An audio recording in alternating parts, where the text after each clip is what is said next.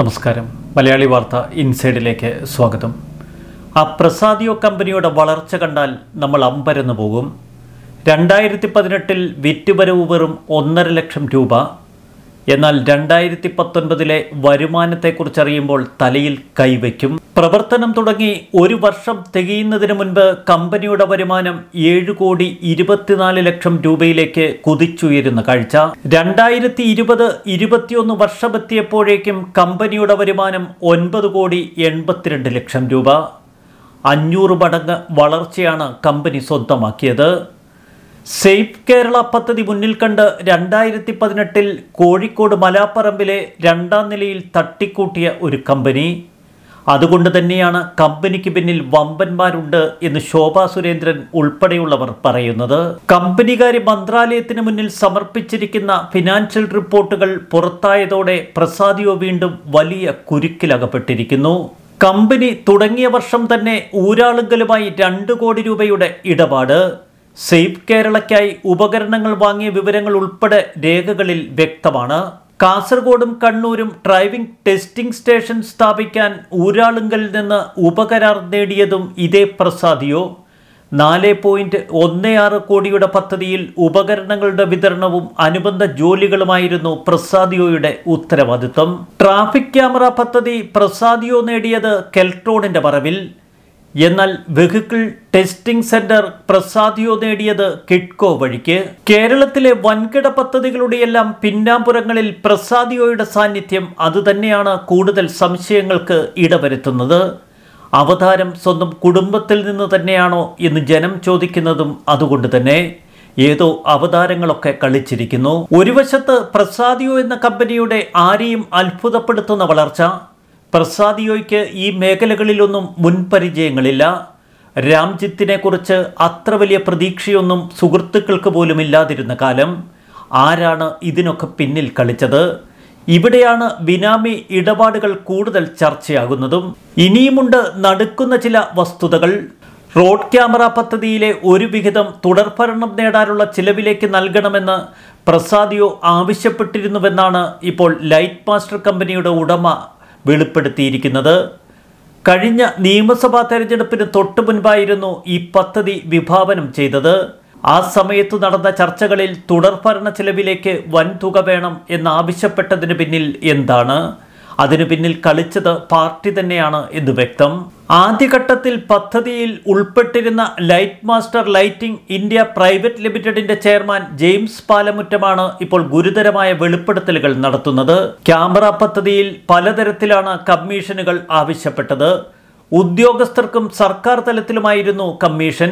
നൂറ്റി അൻപത്തിയൊന്ന് കോടി രൂപ ചെലവ് കണക്കാക്കിയത് കമ്മീഷൻ ഉൾപ്പെടുത്തിക്കൊണ്ട് തന്നെ എഴുപത്തഞ്ച് കോടി രൂപയ്ക്ക് ഉപകരണങ്ങൾ വാങ്ങാനായിരുന്നു കമ്പനിയുടെ പദ്ധതി. ബാക്കിയുള്ള എഴുപത്തിയാറ് കോടി രൂപ എല്ലാവരും അങ്ങ് കമ്മീഷനായി വീതിച്ചെടുക്കുക.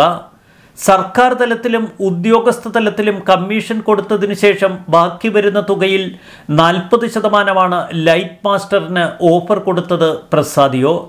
ഈ പദ്ധതിക്ക് വേണ്ട ആദ്യ പർച്ചേസ് തുക മുഴുവൻ കണ്ടെത്തേണ്ടത് ലൈറ്റ് മാസ്റ്റർ കമ്പനി തന്നെ.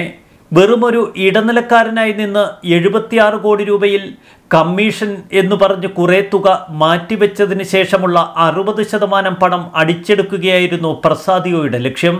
മുഖ്യമന്ത്രിയുടെ ബന്ധുവിന് ബന്ധമുണ്ട് എന്ന ആരോപണം നേരിടുന്ന പ്രസാദിയോ കമ്പനിയുടെ ഡയറക്ടർ ഒ ബി രാംജിത്താണ് ഇത്തരം കാര്യങ്ങൾ തന്നോട് സംസാരിച്ചത് എന്ന് ജെയിംസ് പാലമുറ്റം പറയുന്നു. ചുരുക്കത്തിൽ രാംജിത്ത് തന്നെയാണ് മുഖ്യമന്ത്രിയുടെ മകന്റെ ഭാര്യാപിതാവിനെ ഇരുട്ടിൽ നിർത്തി കളിച്ചിരിക്കുന്നത്. എന്തുകൊണ്ടാണ് പ്രകാശ് ബാബു രാംജിത്തുമായി തനിക്ക് ബന്ധങ്ങളൊന്നുമില്ല എന്ന് പച്ചയ്ക്ക് പറയാത്തത്? പ്രസാദിയോ കമ്പനി കമ്പനി ഓഫ് രജിസ്ട്രാർക്ക് നൽകിയ ഫിനാൻഷ്യൽ റിപ്പോർട്ടിൽ ലക്ഷങ്ങൾ കൊടുക്കാനുള്ളവരുടെ പട്ടികയിലാണ് പ്രകാശ് ബാബുവിനെ ഉൾപ്പെടുത്തിയിരിക്കുന്നത്. തുടർഭരണത്തെ ബന്ധപ്പെടുത്തിയുള്ള ഈ ആരോപണം അതീവ ഗുരുതരമാണ്. നിയമസഭാ തെരഞ്ഞെടുപ്പിന് തൊട്ടു മുൻപ് നടന്ന ഈ ചർച്ചകൾ ഇപ്പോൾ പുറത്തു വന്നിരിക്കുന്നു. മുഖ്യമന്ത്രിയുടെ ബന്ധുവിന് പങ്കുണ്ട് എന്ന് പറയുന്ന പ്രസാദിയോ കമ്പനിയുടെ മാനേജിംഗ് ഡയറക്ടറാണ് ഇടതു സർക്കാരിന് വേണ്ടി ഇത്തരത്തിൽ പണം ആവശ്യപ്പെട്ടിരിക്കുന്നത്. പണം മുഴുവൻ തങ്ങൾ മുടക്കണം ലാഭത്തിന്റെ അറുപത് ശതമാനം പ്രസാദിയോ അടിച്ചെടുത്തു കൊണ്ടുപോകും. പിന്നെ കുറെ രാഷ്ട്രീയക്കാരും ഉദ്യോഗസ്ഥരും സി പി എമ്മും കൂടി ബാക്കി കമ്മീഷൻ തുക വീതിച്ചെടുക്കും. പദ്ധതിയിലെ തട്ടിപ്പുകൾ മനസ്സിലാക്കിയാണ് ലൈറ്റ് മാസ്റ്റർ പിൻവാങ്ങിയത്. ഇതുപോലെ തന്നെ പിൻവാങ്ങിയ മറ്റൊരു കമ്പനിയുണ്ട് അൽഹിന്ദ്. അവരായിരുന്നു ആദ്യം ചില വെളിപ്പെടുത്തലുകൾ നടത്തിയത്. ആരെയെങ്കിലുമൊക്കെ കൊണ്ട് ഈ ക്യാമറകൾ കേരളത്തിലെ നിരത്തുകളിൽ വയ്ക്കാനുള്ള പണം മുടക്കിക്കുക. ഇരുന്നൂറ്റി മുപ്പത്തിരണ്ട് കോടി എന്നൊക്കെ പറയുന്ന ചിലവിൽ നൂറ്റി അൻപത്തിയൊന്ന് കോടി രൂപ പ്രസാദിയോ കമ്പനിയിലേക്ക് ചെല്ലുന്നത് പോലെയുള്ള കളികൾ. പാർട്ടിക്കും ഉദ്യോഗസ്ഥർക്കുമൊക്കെ കമ്മീഷൻ കൊടുക്കേണ്ടതിന്റെ കണക്കുകൾ തന്നോട് ചർച്ച ചെയ്തത് പ്രസാദിയോയുടെ എം ഡി രാംജിത്താണ് എന്ന് ജെയിംസ് പാലമുറ്റം തുറന്നു പറയുന്നു. ഉപകരണങ്ങൾ വാങ്ങി സ്ഥാപിക്കാൻ ആദ്യം പ്രസാദിയോ കണ്ടെത്തിയ അൽഹിന്ദ് ഇതിലെ ചതിവ് മനസ്സിലാക്കി പിൻവാങ്ങിയപ്പോഴാണ് എൽ ഇ ഡി ലൈറ്റ് നിർമ്മാതാക്കളായ ലൈറ്റ് മാസ്റ്റർ ലൈറ്റിംഗ് ഇന്ത്യക്കാരെ അവർ തേടിയെത്തിയത്. പ്രസാദിയോയുമായി അടുപ്പമുണ്ടായിരുന്ന ഒരു മലയാളി ബിസിനസ്സുകാരനാണ് ഇടനിലക്കാരനായി നിന്നത്. എഴുപത്തഞ്ച് കോടി രൂപയുടെ പർച്ചേസ് ഓർഡറിന് പുറമെ നൂറ്റി അൻപത്തിയൊന്ന് കോടിയുടെ പദ്ധതിയിലെ ലാഭത്തിന്റെ നാൽപ്പത് ശതമാനം ഈ ഓഫറായിരുന്നു ജെയിംസ് പാലമുറ്റത്തിന് മുന്നിൽ ഇടനിലക്കാരൻ വെച്ചത്. പദ്ധതിക്ക് വേണ്ട പ്രവർത്തനങ്ങൾ ചെയ്യേണ്ടതും ഫണ്ട് കണ്ടെത്തേണ്ടതും ലൈറ്റ് മാസ്റ്റർ വെറുതെ വഴിയരികിൽ നിന്നുകൊണ്ട് പ്രസാദിയോ കമ്പനി ലാഭത്തിന്റെ അറുപത് ശതമാനം അടിച്ചെടുത്തു കൊണ്ടുപോകും. ആ വേല മനസ്സിലിരിക്കട്ടെ എന്ന് ജെയിംസ് പാലമുറ്റം വിചാരിച്ചു. അതുകൊണ്ട് തന്നെ ലൈറ്റ് മാസ്റ്റർ പദ്ധതിയിൽ നിന്ന് പിൻവാങ്ങി. ഈ കള്ളക്കളി മാത്രമായിരുന്നില്ല മറ്റു ചില നിഗൂഢതകൾ കൂടി കച്ചവടത്തിലുണ്ടായിരുന്നു എന്ന് ജെയിംസ് പറയുന്നു. ലൈറ്റ് മാസ്റ്റർ ചെന്നൈയിലെ സെക്യൂറ കമ്പനിയിൽ നിന്ന് നല്ല ക്വാളിറ്റിയുള്ള ക്യാമറകളുടെ സാമ്പിളുകൾ നൽകി. എന്നാൽ ട്രോയിസ് ഇൻഫോടെക്കിന്റെ ഉപകരണങ്ങൾ മാത്രമേ വാങ്ങാൻ പാടുള്ളൂ എന്ന നിലപാടാണ് പ്രസാദിയോ എടുത്തത്. പർച്ചേസിൽ പോലും പ്രസാദിയോയ്ക്ക് കമ്മീഷൻ. പദ്ധതി സുതാര്യമല്ല എന്ന് പറഞ്ഞുകൊണ്ട് തന്നെയാണ് ഒടുവിൽ തന്റെ ഇടത്തോടെ ലൈറ്റ് മാസ്റ്റർ ഈ പദ്ധതിയിൽ നിന്ന് പിൻവാങ്ങിയത്. പ്രസാദിയോയ്ക്ക് അതിനകം തന്നെ ഇരുപത് ലക്ഷം രൂപ ലൈറ്റ് മാസ്റ്റർ നൽകിയിരുന്നു. എൺപത്തി അഞ്ച് ലക്ഷം രൂപയോളം തങ്ങൾക്ക് ഈ പദ്ധതിയുടെ പ്രാരംഭ ചെലവുകൾ വന്നുവെന്നാണ് ലൈറ്റ് മാസ്റ്റർ പറയുന്നത്. പണം എങ്ങനെയെങ്കിലും പിടുങ്ങിയെടുക്കലായിരുന്നു പ്രസാദിയോയുടെ ലക്ഷ്യം. പദ്ധതിയിൽ നിന്ന് തങ്ങൾ പിൻവാങ്ങിയതോടെ കേരളത്തിൽ പ്രവർത്തിക്കാൻ കഴിയാത്ത സാഹചര്യത്തിലായി അത്രയേറെ രാഷ്ട്രീയ സമ്മർദ്ദം തങ്ങൾക്ക് നേരെയുണ്ടായി എന്ന് ജെയിംസ് പാലമുറ്റം പറയുന്നു. തിരുവനന്തപുരത്തെ ഓഫീസ് പോലും അടച്ചിടേണ്ടി വന്നു. പദ്ധതിക്ക് പിന്നിലെ രാഷ്ട്രീയ ഇടപാടുകളെക്കുറിച്ച് പറയാൻ താൻ ആഗ്രഹിക്കുന്നില്ല. വെളിപ്പെടുത്തലിന് ശേഷം കൂടുതൽ ഭീഷണികൾ തന്നെ തേടിയെത്തുന്നുവെന്നാണ് ജെയിംസ് പാലമുറ്റം പറയുന്നത്. അദ്ദേഹത്തിന്റെ വാക്കുകളിൽ എല്ലാം വ്യക്തമാണ്. ഭരണത്തിൽ ഉന്നത സ്വാധീനത്തിലുള്ള ഒരാൾ തന്നെയാണ് പ്രസാദിയോയ്ക്ക് വേണ്ടി പിന്നാമ്പുറകളിലിരുന്ന് കരുക്കൾ നീക്കിയത്.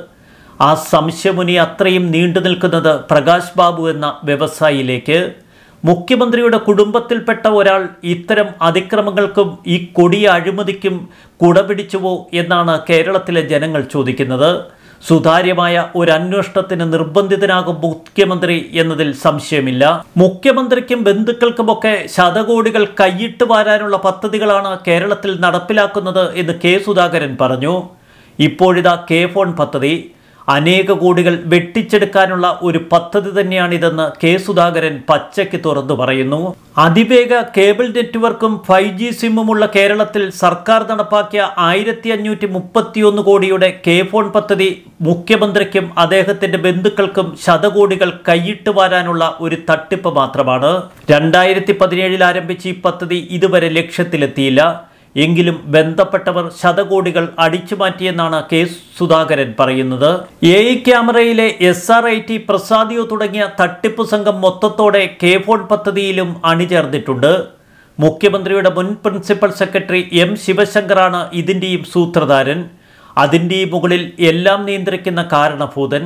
എ ക്യാമറ പദ്ധതി മരവിപ്പിച്ചേക്കും എന്ന സൂചനകളാണ് ഏറ്റവും ഒടുവിൽ പുറത്തു വരുന്നത് മോട്ടോർ വാഹന വകുപ്പ് തികഞ്ഞ ആശങ്കയിലാണ്. അതുകൊണ്ട് തന്നെ കെൽട്രോണുമായി അന്തിമ കരാർ ഒപ്പിടാൻ അവർ ഇതുവരെ ഒരുക്കമല്ല. പ്രതിപക്ഷം തങ്ങളുടെ സമരമുറ ശക്തമാക്കാനുള്ള തീരുമാനത്തിലാണ്. ഇതിനിടയിൽ മുസ്ലിം ലീഗ് പ്രതിഷേധ സമരവുമായി കളത്തിലിറങ്ങി. ഒരു കൊട്ടയുപയോഗിച്ച് ഇത്തരം എ ഐ ക്യാമറകൾ മറയ്ക്കുന്നത് വളരെ രസകരമായ സമരരീതിയായി കേരളത്തിലെ ജനങ്ങൾക്ക് തോന്നി. അതിനു പേരിലും സൈബർ സഖാക്കളും ഫിറോസും തമ്മിൽ ചില തർക്കങ്ങളുണ്ട്. എങ്കിലും ഫിറോസ് സ്കോർ ചെയ്യുന്നത് തന്നെയാണ് അവിടുത്തെയും ഒരു ഹൈലൈറ്റ് എ ക്യാമറകൾ ഉപയോഗിച്ച് കേരളത്തിലെ ജനങ്ങൾക്ക് മേൽ പിഴ ചുമത്തുക ഇനി സർക്കാരിനത്ര എളുപ്പമല്ല. മഞ്ഞക്കുറ്റികൾ പോലെ ഇത് പിഴുതെറിയേണ്ടി വരുമെന്നാണ് കെ സുധാകരൻ പറഞ്ഞത്. യൂത്ത് ലീഗ് കൊട്ടകളുമായി ഇറങ്ങി ക്യാമറകൾ മറയ്ക്കുന്ന തത്രപ്പാടിലും ഈ ക്യാമറകളൊക്കെ വാരിക്കൂട്ടി ചാക്കിലാക്കി കെൽട്രോണിന്റെ ഒരു മൂലയിൽ കൊണ്ടുപോയി ഇടേണ്ട ഗതികേടിലാവും സർക്കാർ എന്നതിൽ സംശയം വേണ്ട. അങ്ങ് മുകളിലിരുന്ന് അഴിമതി ക്യാമറകളിലൂടെ എന്തൊക്കെയാണ് അവർ പകർത്തിയെടുക്കാൻ പോകുന്നത് എന്ന് മാത്രമാണ് ജനങ്ങൾ ചോദിക്കുന്നത്. ആ അഴിമതി ക്യാമറകളെ നോക്കി ജനങ്ങൾ പല്ലിളിക്കുന്നു പുച്ഛിക്കുന്നു. അരിക്കൊമ്പന്റെ ബലത്തിൽ കുറച്ച് ദിവസങ്ങൾ ക്യാമറ വിവാദങ്ങളിൽ നിന്ന് മാറി നിൽക്കാൻ പിണറായി വിജയന് കഴിഞ്ഞു. എങ്കിലും കുടുംബത്തിലെ ഒരംഗത്തിനെതിരെയാണ് ഇപ്പോൾ ആരോപണങ്ങൾ ഉയർന്നിരിക്കുന്നത്. എത്ര ദിവസം ഇങ്ങനെ മൗനിയായി പിണറായി തുടരും? പാർട്ടി സെക്രട്ടേറിയറ്റ് നാളെ ചേരുകയാണ്. പിന്നീട് സംസ്ഥാന സമിതി യോഗം. എല്ലാവരെയും നിശബ്ദരാക്കിയിരിക്കാൻ പിണറായി വിജയന് ഇനി എത്ര കാലം കഴിയും? സി പി എം നേതാക്കളും പ്രവർത്തകരുമൊക്കെ പിണറായിക്കെതിരെ പിറുപിറുത്തു തുടങ്ങി. ഇനി പൂരക്കളി ചില്ലറയായിരിക്കില്ല എന്നു വ്യക്തം. എ ക്യാമറകൾ എന്നാണ് എല്ലാം ചാക്കിൽ കെട്ടി എടുത്തുകൊണ്ട് കെൽട്രോൺ കൊണ്ടുപോകുന്നത്. ന്യൂസ് ഡെസ്ക് മലയാളി വാർത്ത ഇൻസൈഡ്.